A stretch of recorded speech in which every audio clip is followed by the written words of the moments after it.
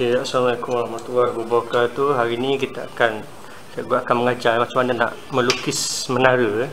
kepala menara lebih kurang menara Kuala Lumpur. Okay, yang pertama sekali kita perlukan baris, pensel dan kertas lukisan serta pemadam.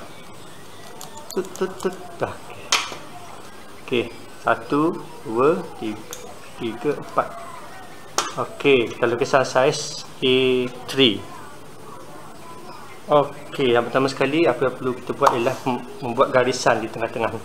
Garisan kita mestilah nipis saja ya. Kita baru proses melakar. Okey, nipis saja. Okey, lepas tu kita tanda titik tengah antara ha, garisan atas serta garisan bawah. Tengah dekat sini. Okey, ini titik tengah. Okey, titik tengah kita antara garisan atas bawah. Okey. Okey, dari titik tengah ni kita ambil 5 cm ke kanan serta 5 cm ke kiri. Ok dari titik tengah juga ke bawah 10 cm. Ok 10 cm. Ok seterusnya kita sambung macam ni. Ok sambung. Jarisan nipis sahaja. Ok seterusnya ke atas lagi. Dari titik tengah 2 cm. Titik tengah ke kanan 3 cm ke kiri 3 cm lepas tu kita sambung. Ya kita dalam proses melakar lagi. Jangan terlalu pekat tekan sangat ya cancel ni. Ok seterusnya ok ni di tengah. Ok seterusnya kita ambil. Kita ambil dari ni titik yang ni 2 cm ke atas Seterusnya dari ni, ini di tengah, ingat sikit. Okey, dari ni 1.5 cm. Sini 1.5 cm. Okey, garis.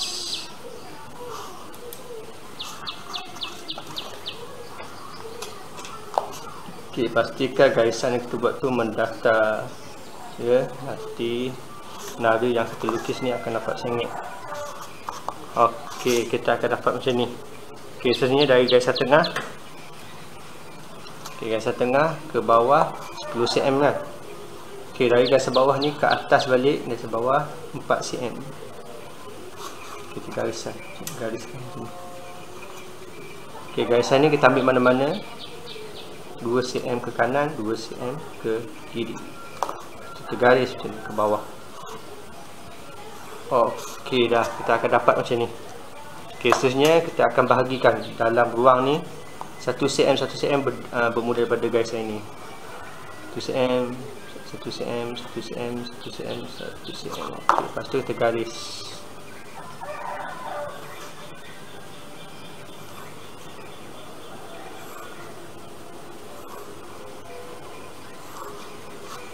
Ini bersama juga ya 1 cm ini bersama juga 1 cm Okey, kita akan dapat macam ni. Okey. Okey, dalam ni okey kita dah mula. Sekarang ni kita mulakan ya. Dalam ni kita akan buat ketebalan garisan. Okey, ketebalan dia. Kita buat macam ni.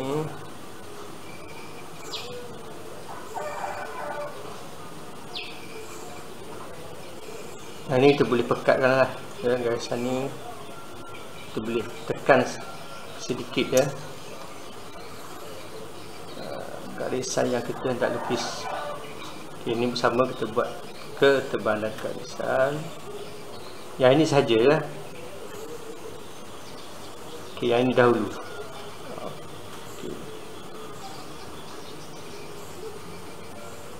Okey, kita akan dapat macam ni. Okey, seterusnya kita nak buat bahagian tepi ni. Kita dah ada garisan asal. Garisan asal ni kita jangan ikut garisan asal kita masukkan ke dalam sedikit. Okey, macam ini dalam sedikit. Ini bersama. Okey, yang ini bersama juga. Ada garisan asal. Kita masukkan ke dalam sedikit. Lebih kurang 0.5 cm ini bersama juga ya garisan asal. Masukkan ke dalam sebanyak 0.5 cm 0.5 cm 0.5 cm 0.5 cm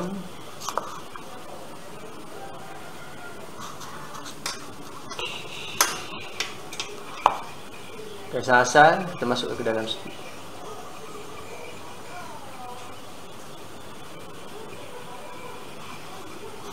Okey. Lepas tu kita garis. Okey, yang ini kita boleh garis. Dekatkan. Dekatkan. Dekatkan. Garis tengah ni, ni tengah, ni tengah. Garis.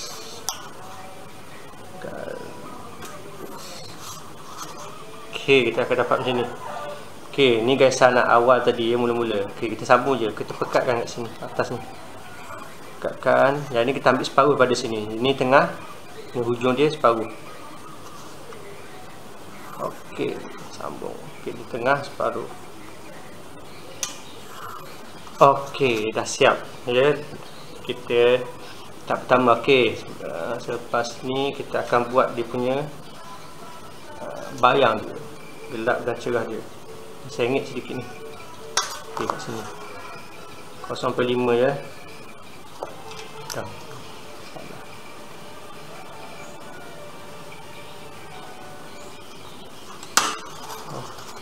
ok kita dapat macam ni. Ok seterusnya. Garis asal yang tadi ni.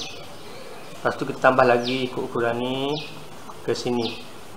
Nipis saja ke sana Okay, kita akan buat macam ni. Bahagian dalam ni kita pekatkan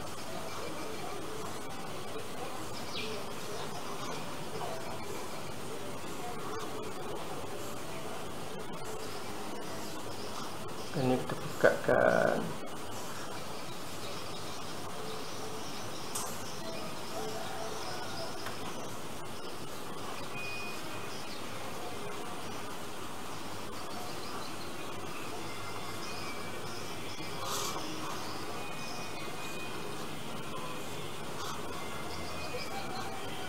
Nah ini garisan tengah ni. Kita follow garisan tengah ni. Kita ikut garisan tengah ni Ya, garisan tengah ni saja. Okay, yang ini uh, kecil besar. Sebab uh, lukisan kita uh, Objek yang kita nak lukis ni kecil besar. Jadi bayang, bayang cahaya dia kecil dan besar. Ini bersama Sama, sama, sama, sama Jadi garisan sama-sama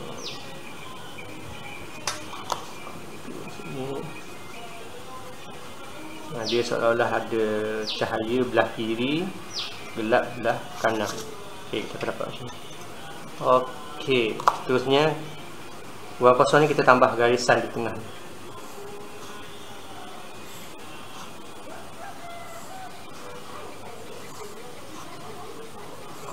Okey.